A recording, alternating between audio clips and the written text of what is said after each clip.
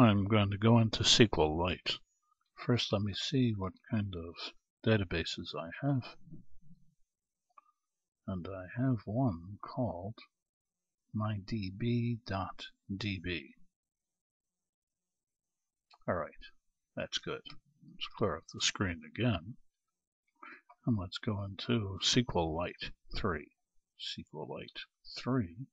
And let's open up mydb.db. I get my prompt. First thing I want to do is put the headers on. And then I want the mode, dot mode, to be column.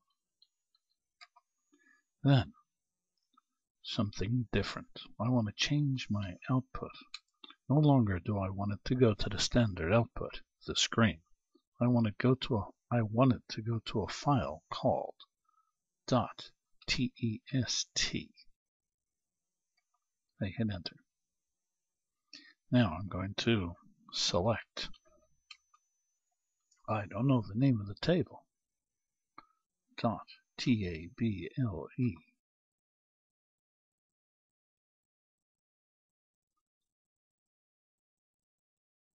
It's not going to display it on the screen. Well, I'm out of luck. All right. So let's select star from T1. I remember the name of the table. And now let's do a dot output, change it back to the standard output. Standard out. Now let's go and exit out of this program and see if we can type out the contents of dot .test. And look what we see. When I told the system before dot table, it showed me I had this table called T1. Wow.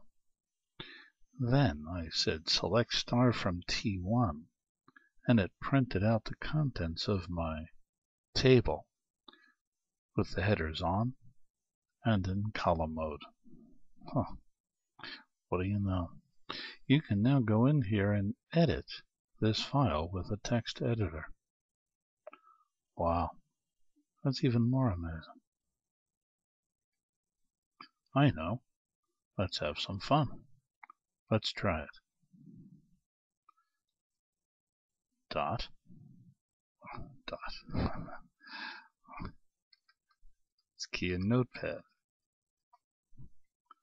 Up comes Notepad. And let's see if we can get this file. Dot test. File. Open. Oh, I didn't do that so you can see it. Excuse me. File. Open. And the name of the file we'll go looking for is in the C drive. And it's called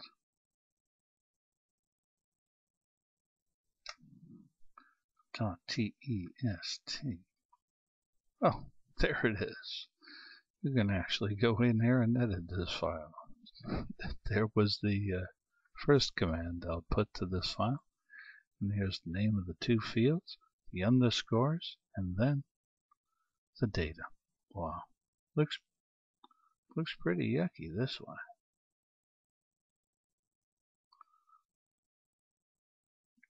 Hmm.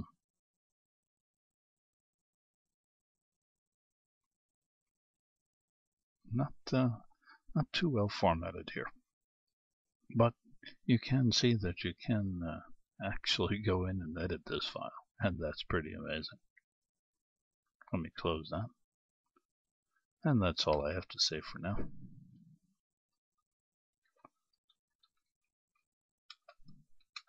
This is George Boole.